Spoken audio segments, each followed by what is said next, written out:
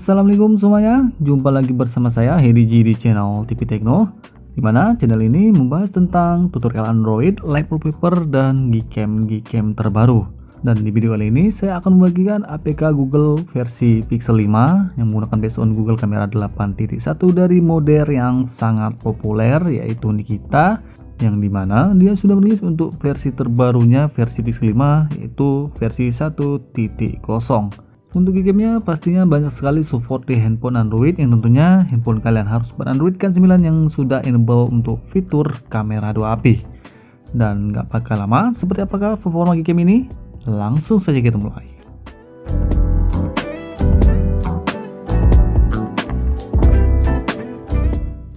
Seperti biasa, jika kalian tertarik ingin mencoba APK Google Kamera Android yang terbaru dari model kita, Tuh link downloadnya saya sudah sertakan di kolom deskripsi dan plus dengan file konfigurasi. Dan di video ini saya tester gamenya menggunakan handphone Redmi Note 9 Pro. Di versi terbaru dari Gcam kita setelah dicoba di handphone Redmi Note 9 Pro, untuk fingernya smooth dan untuk mode-modenya juga tentunya lengkap dari kamera utama, mode astrofotografi sampai Google Lens. Dan untuk kelebihannya yang termasuk saya sukai di mode potret bisa selfie pada mode malam hari. Tentunya sangat membantu saat kalian ingin selfie saat minim cahaya. Kemudian untuk kelebihan lainnya, game ini sudah support untuk penginstalan file konfigurasi. Untuk hasil tester di setiap mode-modenya saat saya menggunakan handphone Redmi Note 9 Pro, Kamera utama seperti biasa bisa dijalankan dengan baik dan untuk view hasil video ataupun foto juga lancar ya teman-teman.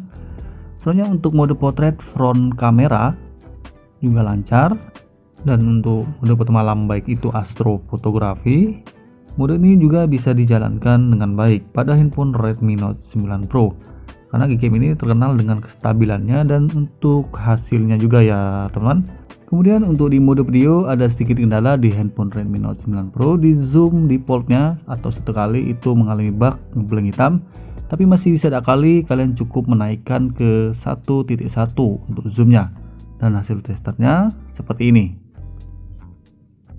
Next sekarang untuk mode slow-mo atau gerak lambat di Redmi Note 9 Pro ini mengalami kendala ya teman fiturnya bisa digunakan tapi hasilnya kurang maksimal Selanjutnya untuk mode time lapse, mode yang satu ini lancar bisa digunakan dengan baik dan untuk hasil videonya juga sesuai dengan modenya.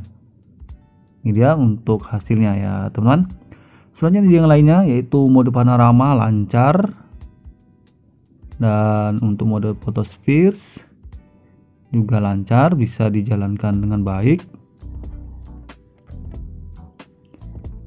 dan untuk mode yang terakhir yaitu Google Lens juga sama ya teman. Bisa dijalankan dengan baik di handphone Redmi Note 9 Pro. Hasilnya seperti ini. Jadi untuk kesimpulannya untuk Gcam ini selain fitur-fiturnya hampir bisa dijalankan dengan baik semua untuk hasilnya juga sangat bagus ya teman. Jernih, tajam, dan detail.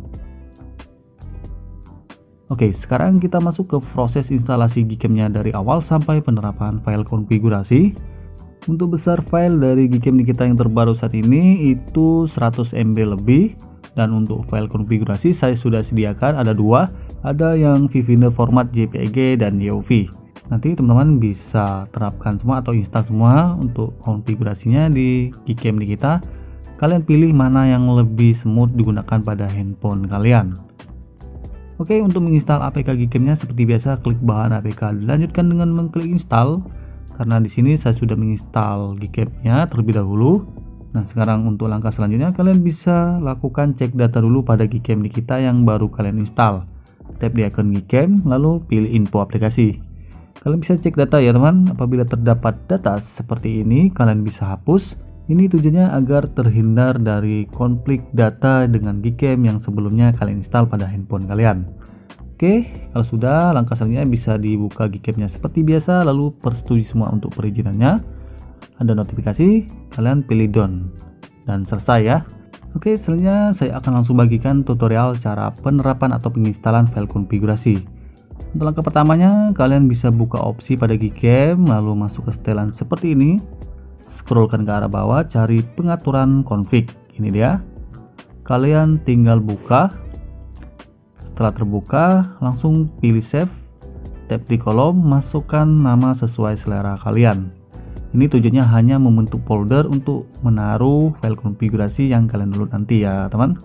Oke, kalau sudah dipilih save, langkah selanjutnya kalian bisa download file konfigurasi, lalu cek di file manager, kalian cari, kalau sudah ketemu, tinggal kalian pilih dan kalian pindahkan ke penyimpanan internal.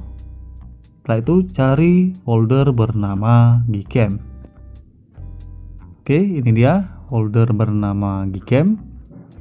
Kalian bisa buka ya, teman, buka. Nanti di dalamnya ada folder lagi bernama config 8. Kalian buka. Setelah itu kalian bisa langsung tempelkan atau pindahkan file konfigurasi yang dipilih tadi. Oke, kalau sudah buka Gcam di kitanya. Nah, selanjutnya untuk menampilkan pengaturan file konfigurasi tinggal ketuk di bar hitam ini sebanyak dua kali maka akan muncul pengaturan cost config, tab tanda panah untuk menampilkan daftar config. Lalu kalian bisa pilih file konfigurasi yang ingin kalian terapkan. Nah, untuk pengguna handphone yang sama seperti saya yaitu Redmi Note 9 Pro, kalian bisa pilih yang UV. Tapi apabila kalian pengguna handphone Realme XT atau sejenisnya, silahkan pilih JPEG untuk menghindari lag pada viewfindernya. Oke, setelah itu kalian bisa pilih restore untuk menginstal file konfigurasi pada Gcam kita. Dan selesai. Untuk Gcamnya kalian bisa gunakan seperti biasa. Nah, berikutnya adalah sampel foto lebih jelasnya dengan menggunakan Gcam kita yang terbaru saat ini plus file konfigurasi.